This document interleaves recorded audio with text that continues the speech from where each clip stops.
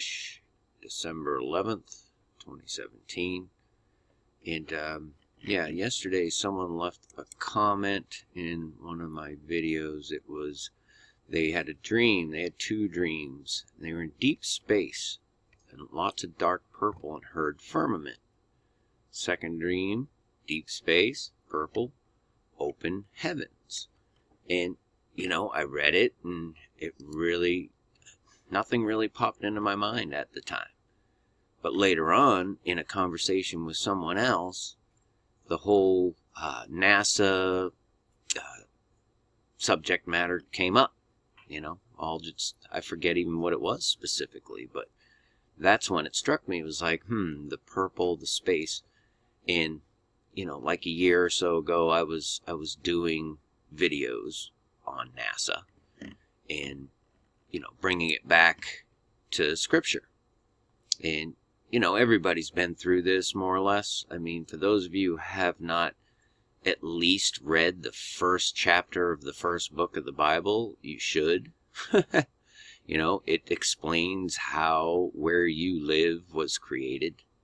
And it's important because based upon what we have seen in uh, what appears to be still a controversial subject of the flat earth.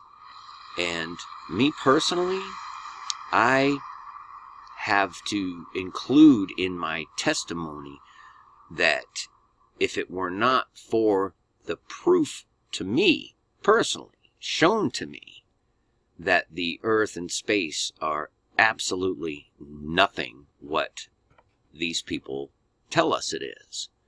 And I don't get involved in the the controversial aspect of it and trying to prove one thing or another because I know that the earth is how it's described here. And as far as space goes, well, that's the firmament. The firmament and the heaven are the same thing. And that's where the lights are the sun, the moon, and the stars. Now, we get into the different definitions of stars, and there aren't that many different definitions. There are some that are set apart that are significant. But generally speaking, all the stars are are a star, around or shining, figuratively a prince. Okay? This is where people need to understand that when you're looking at the stars, you're seeing just the lights in the heaven that God put there. He made the stars also. But you're also seeing different dimensional kind of aspects of the heavens because there are heavens up there, not just one. And I'll show you Genesis 3, no, Genesis 2, sorry about that. These are the generations of the heavens, that's plural, and the earth when they were created in the day the Lord God the Lord God now made the heaven, made the earth and the heavens. Again, plural. Okay? There are multiple heavens in the firmament. The firmament doesn't have to be like this, you know, two inch thick, you know, shell. It's very vast. It's, it's God. It's like, you can't really imagine it. But these guys, they know what's going on up there. I can tell you that for sure.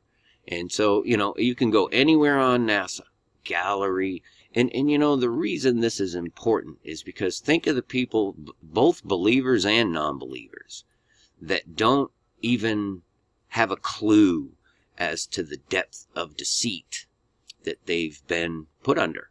Um, I mean, this one entity alone, NASA, uh, in my personal view, is responsible for more people uh, missing out on knowing Christ than probably any other entity out there.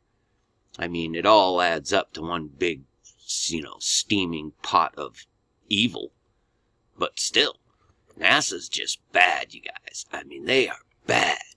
And you can go anywhere on here. They got their galleries, all kinds of images. So I go to their little Hubble. This is the Hubble zone where you can find all the images that the gajillion dollar Hubble telescope has given us so freely. And you know, you have to forgive my sarcasm, but I have a hatred towards the people behind this deception. You understand what I mean? And so you can just pretty much randomly pick any of these, and I can show you this little guy right here. I can tell you just in this little thumbnail, it's a serpent. This is his eyes, it's his face, and this is his little serpent body slithering off. And it's just everywhere. So, you know, I basically just will grab one at random. I just searched for uh, nebulas. There's there's one there, the Rosette Nebula. So let's pick that one. And I just grab the image. Now to look at it, yeah, wow, ooh, that's that's really cool, right? Well, you can do simple things. This is how the entity that drives NASA, that runs NASA and all these dark projects. Don't forget now, if you look at NASA here, remember, this year alone since Trump's been in there, look at what they've done. They've read they've done the NASA Authorization Act. Go have a read at that. International all this stuff they did to just further and then Pence you go look at his little speeches at NASA and stuff. It's crazy. We're going to go back to the moon. We're going to go to Mars. They can't get through the firmament. We, if you don't know that, you have done zero research, and then you just don't want to know. The reason it's important, again, is because think of the way that the average person will look at their lives and who they are and what they are and who created them if they knew where they actually lived. That's why this is the biggest deception ever. Think about it. I mean, again, so I just choose one, just one random image. And we can do all kinds of stuff with this, but generally it's very easy. Usually you can just take and just change like the brightness, the contrast, and get exactly what they're really showing. Can you see what I'm seeing already here? Can you see the eye? The eye, the nose, it's a skull.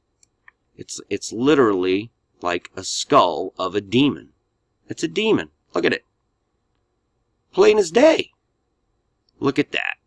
Okay? That's NASA. That's called the Rosette Nebula, courtesy of NASA. One example of thousands upon thousands upon thousands because that's the spirit behind NASA. The stars in the sky are generally just that, stars, in the heaven that we see generally. But we're able to pick up, and that's what CERN's all about. That's what they're doing. They're, they are literally connecting into those entities. And it ain't good. It's going to be unleashed on this earth. And if you don't know Christ, man, it's going to take you and you are just not going to have a chance. So just ask Him. Ask Him into your heart. Ask Him to show you the truth of things.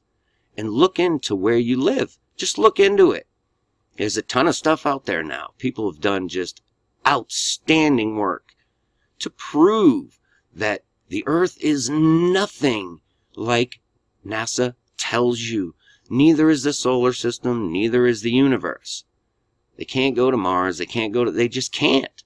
Why do you think they shot, you know, 100 missiles, nukes at the firmament back in the 50s and stuff? Go look it up. Operation Fishbowl, I think it was called. Real stuff. All right in front of your face, once again. But this is a big one. This is one I share with people in person all the time. And it's important because it's brought people to Christ. It truly has. And so uh, that's my little rant for this morning, y'all. Hope y'all have a great week, great day, all that stuff. Peace and grace to you. Many fish. Finally, my brethren, be strong in the Lord, and in the power of his might. Put on the whole armour of God, that ye may be able to stand against the wiles of the devil. For we wrestle not against flesh and blood, but against principalities, against powers, against the rulers of the darkness of this world, against spiritual wickedness in high places. Wherefore take unto you the whole armour of God,